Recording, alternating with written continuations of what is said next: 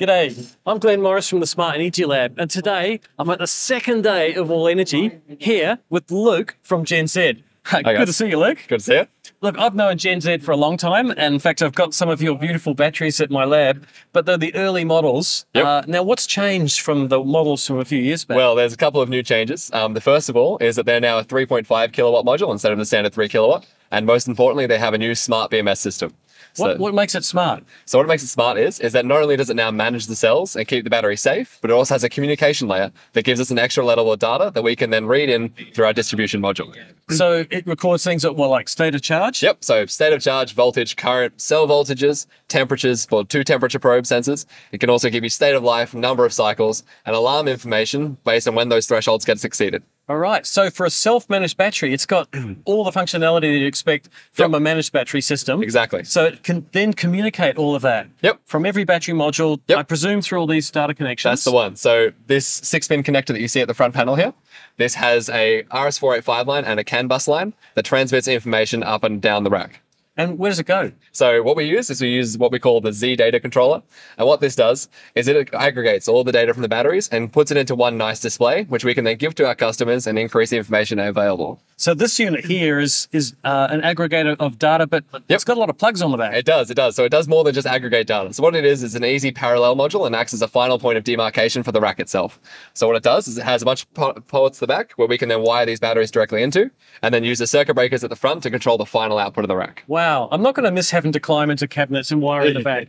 No, Uh, actually, I bent the bottom of the cabinet doing that because Yeah. I'm not the lightest person. um, so now it's plug and play Yep. to, right up to the distribution module. Exactly. Yep. And we've got uh, Anderson connectors on the back. Yep. Same as the ones on the front here. Yep. You must have a big one then. It goes to the Yeah, inverter. yeah. So it's got two big Andersons at the back, uh, two big Anderson plugs at the back, which then act as the final outputs to the rack. There's a reason there's two of them, so you can parallel multiple racks. And if you've got a full set of 21, then you need the two outputs to have like a stable low current, uh, sorry, low resistance output. So with this distribution model, how many battery modules can we connect? So with this one here, it's a 21 port distribution module. So that's a full 21, uh, 21 batteries. Times 3.5 is ooh, 670 something Yep. kilowatt hours. That's the one. Yep. Wow. Okay, that's a lot of storage. It is indeed. In, controlled by one distribution module. One. Yep. Uh, now this is a blank here. Yep. What's that for? Okay, so this is basically for when you filled up a rack and you want to have the full um, 250 amps output. You can then set up two sets of breakers in parallel. That gives you the same, gives you a proper management of your fault currents, and then allows you to have the proper output for the rack itself. Right.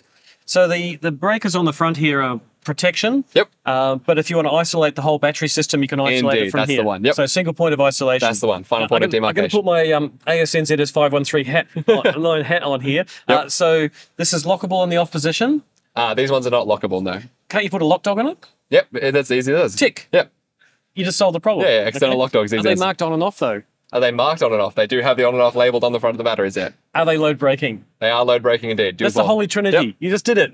Easy Okay. as. Because I get this question a lot when people see multiple battery modules. They go, Yep. "So do I need a, a, a single isolator somewhere upstream?" And I Yep. go, "Well, if every single inbuilt isolator meets that requirement, That's the one. No, you don't. But Yep. it's a lot of switches to turn it off. It and, is, yeah, And yeah. you've got to have all that on the shutdown procedure. Yep. You've now got a single point That's the one. of, of isolation. So excellent.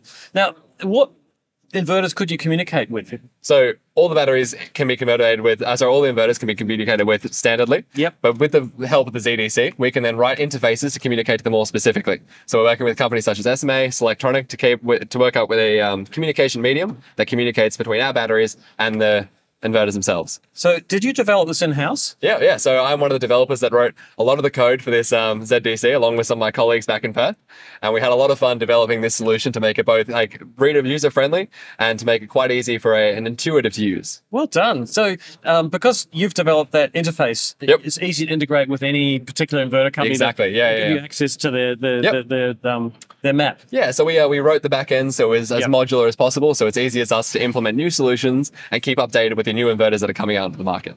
Okay. So, what do we call these battery modules? So these are just our smart BMS. Smart BMS. That's the one. That's smart module. kilowatt Yep. hours. With the smart Fifty-one modules. point two volt nominal. Yep.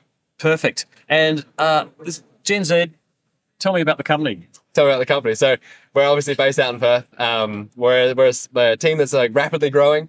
Um, it's a lot of fun to work there. I've only been with the company for two years, as we said, but under the guidance of guys like Kevin and Dennis, um, had a lot of fun learning under them. And it's a quite a close knit team. We have a great time doing what we do. So we've got grey power off screen, but you know, That's where a lot of the, what of the longevity in this company comes from. That's the one. A lot of experience in Yep. working with energy yeah, yeah. storage in some of the harshest environments in the world. That's the one, right? yeah, nothing like a mining site in WA. No, nothing quite like it, right? Yeah. You want to stress test your product? There's no better place than the place up in like a BHP in Rio. They give you the best challenge there is. cool. Yeah. Well, thanks very much, Luke. No problem. Okay, It's a pleasure talking to you. cool.